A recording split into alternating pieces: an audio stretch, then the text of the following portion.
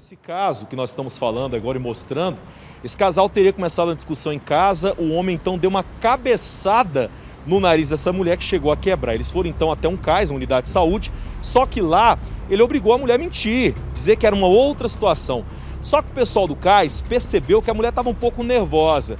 Depois de uma conversa, então, eles decidiram acionar o pessoal da Romu, que chegaram lá no local e acabaram descobrindo que a história não tinha nada a ver com aquela que eles estavam contando ali. O Wagner está comigo aqui. Wagner, uma situação realmente que chamou a atenção de quem estava na unidade de saúde e essa atenção foi fundamental para a prisão desse agressor. Boa noite, seja bem-vindo. Boa noite, Fred. Boa noite, Silvia, a todos que nos assistem. Sim, é uma, uma equipe multidisciplinar, treinada para isso. Os funcionários do CAIS treinados para isso, acostumados a lidar com pessoas, viu que tinha alguma coisa diferente, acionaram o pessoal da segunda regional, eles foram até lá e nos acionaram. Chegamos para dar apoio, conversamos com essa mulher, ela insistiu que teria primeiro caído de moto, depois falou que teria sofrido um acidente no carro, o carro estava no local intacto. Foi aí que nós decidimos conversar com o marido e ele não demorou muito a confessar que teria dado uma cabeçada no rosto da esposa, quebrou o nariz dela e o rosto dela, além do nariz, estava bastante machucado.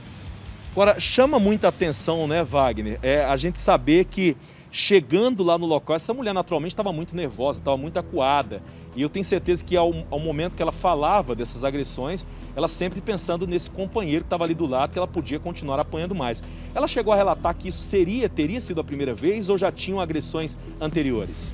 Não foi a primeira vez, até porque ele já tem passagens pela polícia, no incidente em que ele foi preso por embriaguez ao volante, vias de fato e também por dano vinculado a esse relacionamento.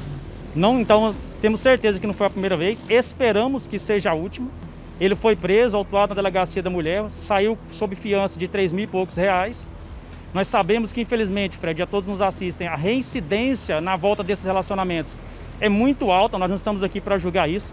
E até preocupávamos na questão da época da pandemia, as pessoas mais confinadas em casa, aquele relacionamento mais contínuo, tinha aumentado essa questão aí de agressões e de brigas. Infelizmente, nós estamos voltando aí a um novo normal depois da pandemia, mas o que se sente é que tem aumentado essa violência ou as pessoas decidiram, enfim, denunciar. Esse é um caso que nós estamos mostrando, mas nesse feriado prolongado nós tivemos outros quatro que nós atendemos, todos com violência extrema contra as mulheres e sempre elas saindo machucadas, lesionadas. E o grave é que, na grande maioria, elas acabam depois o nem querendo a medida protetiva.